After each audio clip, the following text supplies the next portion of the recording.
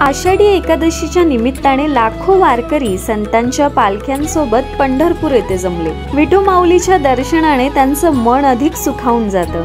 आणि दुसरं म्हणजे मुख्य मंदिर आणि परिसराला केलेली भव्य दिव्य विद्युत रोषणाई पाहून मन प्रसन्न होतं. ही रोषणाई केली आहे पुण्यातील विनोद जाधव आणि निलेश जाधव यांनी. मागील सहा वर्षांपासून हे बंधू विनामूल्य आषाढी कार्तिकी दिवाळी नवरात्र दसरा पाडवा या मुख्य सण उत्सवास मंदिरात विद्युत रोषणाई करतात. विठ्ठल रखुमाईवर आमची श्रद्धा आहे. मी गेली दोन हजार नऊ पासून दर एकादशीस पंढरपूर यात्रा करतो. मनापासून इच्छा होती की मंदिराची सजावट करावी. एक दिवस ती इच्छा मंदिरांच्या प्रमुख यांच्याकडे व्यक्त केली. त्यांनी मला परवानगी दिली. मी दोन हजार सतराला पहिल्यांदा संपूर्ण मंदिर परिसराला विद्युत रोषणाई केली. खूप आनंद झाला. एक सेवा पूर्ण झाली. असा भाव होता आजही आहे असे विनोद सांगतात. मी दोन हजार नऊ सालापासून महिन्याची वारी करतो. मी प्रत्येक वारीला यायचो तर त्यावेळेस मंदिराला लाईटिंग नसायची. तर असं वाटलं की मंदिराला लाईटिंग केली पाहिजे.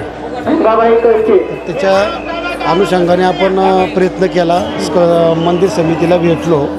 त्यांना सांगितलं की मला सेवा करण्याची तुम्ही संधी द्या. तर त्यांनी मला दोन हजार सतरापासून सेवा देण्याची संधी दिली त्यांनी. नाही आम्हाला ह्या गोष्टीचं समाधान आहे की मंदिर चांगलं विद्युत रोषणाई मंदिराला चांगली होती त्याच्यात समाधान होतं लोकांना त्याचा आनंद होतोय ना सगळं. आम्हाला तेच पाहिजे. विठ्ठलाला साकडं काही नाही की बाबा सगळ्यांचं चांगलं कर भलं कर असं इथून पुढं आपली सेवा अशीच कंटिन्यू चालू राहील. ज्यावेळेस ते मला सांगतील लाइट करायची आम्ही तयार असू.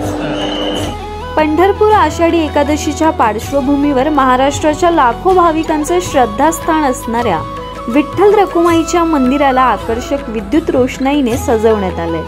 आषाढी वारीसाठी दरवर्षीप्रमाणे मंदिर रंगीबेरंगी विद्युत दिव्यांनी जगमगून गेले.